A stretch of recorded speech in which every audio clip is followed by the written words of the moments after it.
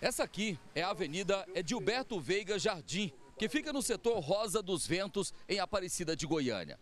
A avenida é asfaltada, mas quando os carros passam, levantam um poeirão danado. Olha quando esse caminhão está passando aí para você ver como é que fica. A poeira é levantada aqui na rua. Mas a pergunta é, por que, que tem poeira numa avenida que é asfaltada? Asfaltaram somente a avenida principal do setor, que é essa avenida onde nós estamos, mas a avenida fica numa parte mais baixa em relação às outras ruas. Todas as ruas do setor são assim, ó, de terra. Toda vez que chove, a enxurrada traz a terra da parte alta aqui para a avenida. Resultado é o que a gente vê aqui, ó. Muita poeira nessa época. O Ademar que mora aqui no setor há quanto tempo, Ademar? Tem 22 anos que eu sofro com essa poeira aqui. Então, a gente tá vendo aqui, olha lá, a moto tá passando, olha ali, Kleber. É sempre assim?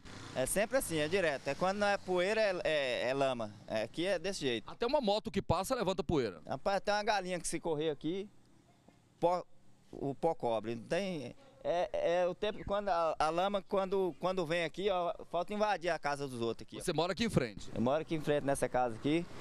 Esse vizinho aqui, ó, esse vizinho aqui é todo o tempo todo lavando essa calçada dele aqui, ó, quando chove, ó.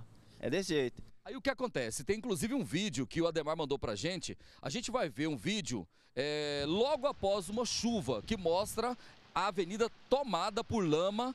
Ah, e o que o máximo que a prefeitura faz é mandar uma máquina para tirar a lama da avenida. Quando manda, quando manda aí tira a lama e fica desse jeito aí. Assim.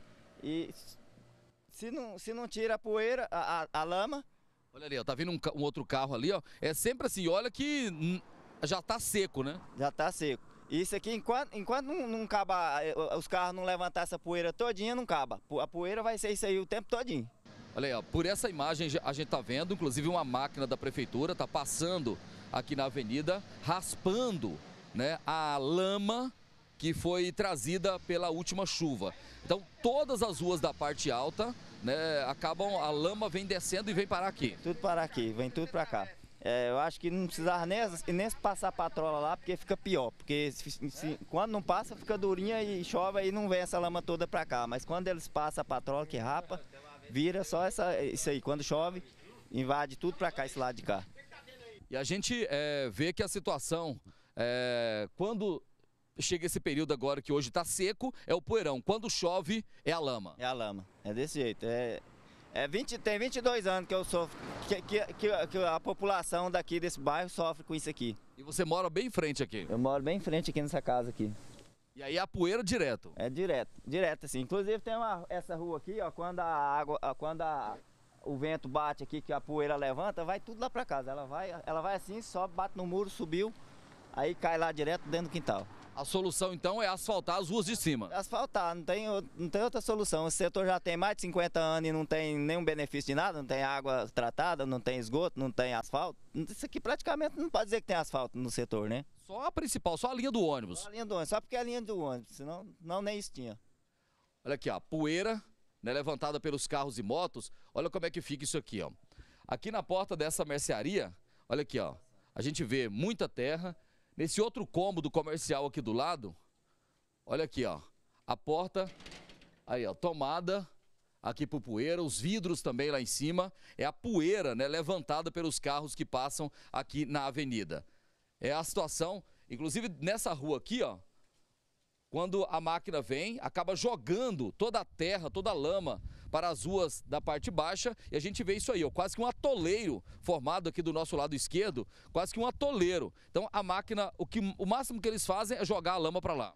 O Leonardo é, tem essa mercearia aqui há quase dois anos e ele também sofre muito. Quando desce muita enxurrada lá da parte alta, isso aqui fica tomado por terra? Fica tudo tomado por terra e a lama vem mais ou menos nessa mediação aqui e para completar, quando os ônibus passam, né, joga lama para tudo quanto é lado aqui, nas paredes, nas verduras que fica aqui fora. Aí é até difícil manter a mercearia limpa. É complicado. A gente lava duas, três vezes por dia, mas nessa época de seca, você não pode estar lavando direto, né? E aqui, é, isso aqui é o que sobrou da última chuva. E olha que já passaram uma máquina aqui. Já, já passaram a máquina aqui. Então, assim, aí quando passa a máquina, vem esse poeirão louco aí.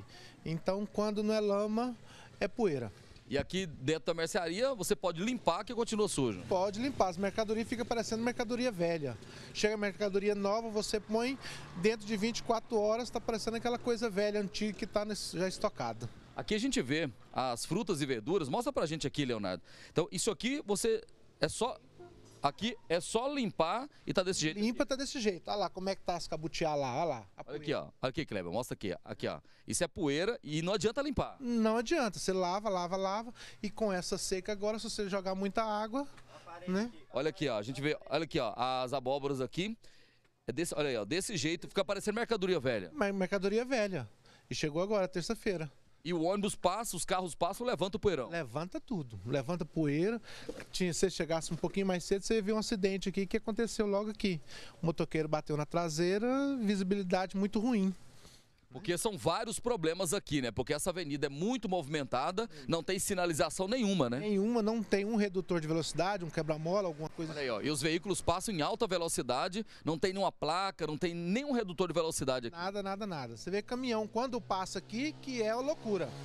Né? Passam correndo, perigoso acontecer um acidente, passar por cima de uma criança e, em consequência, está isso daí, o nosso setor, esse descaso. O Rosa dos Ventos, então, foi abandonado pelas autoridades de Aparecida? Foi. Aí, quando vem, eles trazem, jogam a terra aqui em cima, aqui, vocês podem ver, tudo isso aqui é cosionado, terra tirada do asfalto, jogando aqui para cima. É, isso, isso que o Leonardo tá falando é isso aqui, ó. Esse montão de terra aqui, isso aqui é a terra que estava na avenida e que foi jogada nesse terreno baldio. Exatamente. Toda essa terra que você está vendo aqui não é caminhão que joga. É, é terra que desce lá de cima, a patrola pega e joga aqui em cima. Então tudo isso aqui estava na avenida? Tudo isso aqui estava na avenida. Não só de agora, né? Mas vem acumulando aí, ó. O máximo que a prefeitura faz é, é tirar a terra da avenida e jogar aqui. Isso, só isso que eles fazem. E a solução está no asfalto das ruas da parte alta. Exatamente. Seria o, o ideal para nós aqui no setor. Agora o imposto chega? Ah, chega. Esse daí vem direitinho, certinho, pontual. Esse não falta. E nessa época com pouca água, e tem um detalhe, né? Como não tem água tratada aqui no bairro, não pode nem desperdiçar água aqui, né? Não, aqui é cisterna. E cisterna nessa época seca, seca, mas que acaba tudo. Então até para limpar a poeira que é complicado. É complicado. Olha tá vindo um ônibus lá, ó. Olha lá, Kleber. Tá vindo um ônibus. É sempre assim? Sempre assim. Dessa maneira que vocês estão vendo aí, ó. Olha, avenida asfaltada. Olha o poeirão levantado pelo ônibus. E olha que agora ele reduziu um pouco a velocidade. Reduziu porque viu a reportagem, né? É isso daí. Olha lá. Entendeu? Então, a gente fala, a gente brinca que é o único setor de Aparecida que patrola asfalto. Em casa ou no comércio, não adianta limpar, que está sempre com poeira. Sempre com poeira. É, meia hora você limpa, passa meia hora, você passa o dedo, tá tudo empoeirado de novo. O Edmilson mora aqui no setor Rosa dos Ventos há nove anos. E você estava me contando que desce tanta lama da parte alta que às vezes até os carros não tem como passar em algumas vias aqui. Não jeito nenhum. Tem que passar só por cima do, do, do chão lá para não passar no asfalto. Então, o asfalto aqui às vezes fica intransitável? Transitado aí, como fica aí. Aqui foi a patroa já tirou já, ó. A patroa já tirou tudo em barro daqui, senão não passava carro. Antes da patroa passar, isso aqui estava tudo coberto? Coberto de lama aí. Lama, barro e tudo. Só passava por cima os carros lá, os carros pequenos. E a avenida, aqui é de Beto Veiga Jardim, a única asfaltada do setor, ela acaba virando uma espécie de pista de corrida. Você vê nessas imagens aí a velocidade que as motos estão trafegando, os carros também passam em alta velocidade, né? Mas os problemas aqui vão além. Esse senhor que é dono aqui da sorveteria, há quanto tempo aqui? Já faz um ano que eu estou nesse estabelecimento aqui e sempre do mesmo jeito. Não teve melhora nenhuma nesse tempo que eu estou aqui. Agora, quando chove ou quando faz sol, o senhor sofre do mesmo jeito aqui? Do mesmo jeito. Quando dá chuva forte mesmo, que, que a água desce lá de cima, chega a entrar dentro da sorveteria. A dona Patrocínia, ela estava até lavando a calçada aqui, primeiro explicando. A senhora está usando a água que lavou a roupa. E roupa, porque não tem água na cisterna. E tem que lavar o dia inteiro por causa da poeira? O dia todo, se não quiser ficar na sujeira.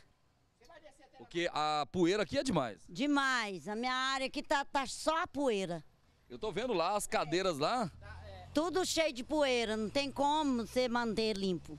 A, a gente pode mostrar lá? Pode. Vamos entrar aqui, Kleber, nessa casa. A, a poeira é tanta aqui, ó, que ela tá utilizando até a água é, que lavou a roupa. Olha como é que estão aqui as cadeiras. Olha aqui, ó. As, olha aí, ó. Cheia. Isso aqui tudo é poeira. Tudo poeira, do asfalto. Olha essa mesa aqui também. Olha aí, ó. Olha aí. Dá para escrever. Pode escrever na mesa, que tem- tá cheio de poeira. Se a senhora tivesse que escrever alguma coisa para as autoridades, qual a palavra que a senhora colocaria ali? Pra tomar conta da- do setor, né? Porque o setor tá desdeixado. A Vera, que tem uma distribuidora aqui na avenida, ela estava dizendo pra gente que ela também sofre com a lama, com a terra que vem da parte alta aqui, Vera. Sofrimento. Toda vez que chove, invade a, a distribuidora, os a, a casa lá dentro, entra de água. E sempre a poeira também, né? Depois da lama, fica a lama, poeira, que nós não para. Só tô limpando todo dia, toda hora e não tem sossego.